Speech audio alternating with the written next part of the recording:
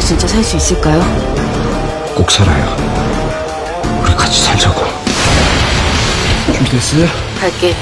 지금 가요. 무슨 진짜. 여기 살아있다고!